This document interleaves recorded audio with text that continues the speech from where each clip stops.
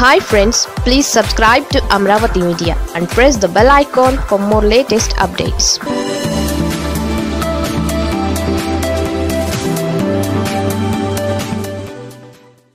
Tirupati ఉప ఎన్నిక బీజేపీకి తిరుమల జీఎస్టీ ఉచ్చు.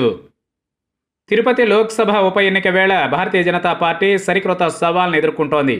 పవిత్ర పుణ్యక్షేత్రం తిరుమలలో శ్రీవారి సేవలను జీఎస్టీ పరిధిలోకి తీసుకొచ్చిన అంశాన్ని వైఎస్ఆర్ కాంగ్రెస్ పార్టీ తెర మీదకి తీసుకొచ్చింది. హిందువులు హిందూ ఇజానికి తాము మాత్రమే ప్రతినిధులమని చెప్పుకుంటోన్న బీజేపీ నాయకులు అదే హిందువుల మనోభావాలతోనే ముడిపడి ఉన్న శ్రీవారి సేవలపై జీఎస్టీని వడ్డించడం సరికాదని దీనిని ఉపసంహరించుకోవాలనే డిమాండ్ వినిపిస్తోంది.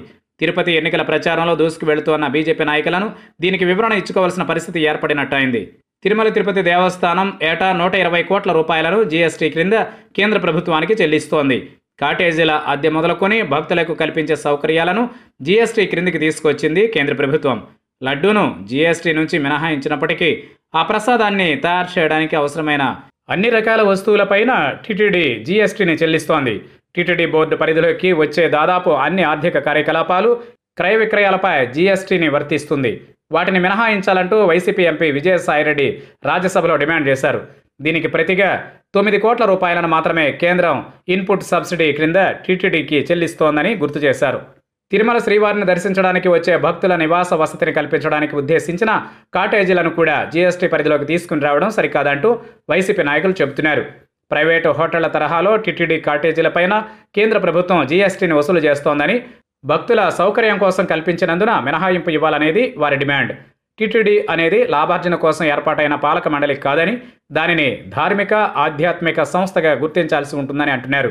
ఇదే విషయాన్ని తిరుపతి ఉప ఎన్నిక ప్రచారంలో వినియోగించుకున్నారు వైఎస్ఆర్సీపీ నాయకులు తాజాగా లేవనెత్తిన ఈ అంశాన్ని తిప్పికొట్టే పనిలో పడ్డారు బీజేపీ నాయకులు. దీనిపై ఎదురుదాడికి సిద్ధమవుతున్నారు. జీఎస్టీ అమల్లోకి వచ్చినప్పటి నుంచి ఇది కొనసాగుతున్నప్పటికీ ఇప్పుడే ఈ అంశాన్ని లేవనెత్తడానికి కారణమేంటని ప్రశ్నిస్తున్నారు.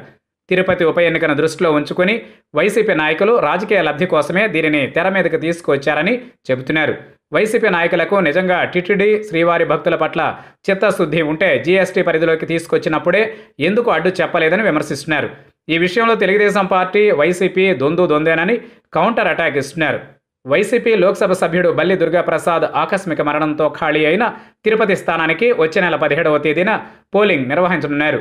అధికార వైసీపీ ప్రతిపక్ష తెలుగుదేశం పార్టీ తమ అభ్యర్థులను ప్రకటించాయి. వైసీపీ తరఫున తిరుపతికి చెందిన ఫిజిషియన్ డాక్టర్ గురుమూర్తి టీడీపీ నుంచి కేంద్ర మాజీ మంత్రి పనబాక లక్ష్మి పోటీలో ఉన్నారు.